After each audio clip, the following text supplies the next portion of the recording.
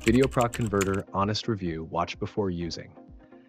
If you're looking for a fast, reliable, and simple solution for video conversion, editing, downloading, and screen recording, this review covers everything you need to know before installing.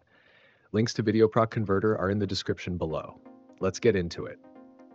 First off, um, VideoProc Converter is an all-in-one video toolbox designed for users who want more than just basic file conversion. It handles 4K and large-sized videos with ease thanks to its level 3 GPU acceleration, which means smoother processing, reduced CPU load, and significantly faster rendering times. Whether you're a content creator, a YouTuber, or someone archiving home videos, this tool makes your workflow faster and easier.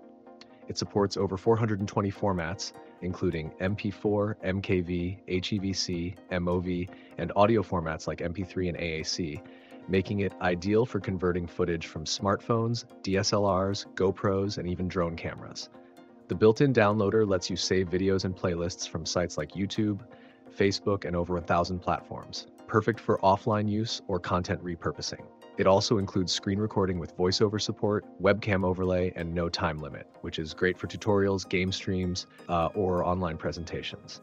And if you're dealing with shaky, noisy, or fisheye footage, its basic editing tools like stabilization, noise removal, and lens correction are surprisingly effective.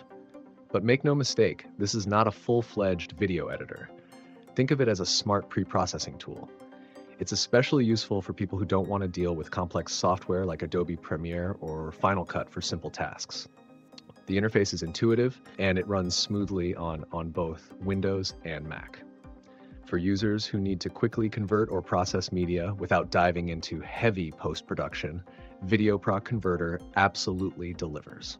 Thanks for watching. If you found this helpful, hit that like button, subscribe for more honest tech reviews, and help others discover tools that actually work.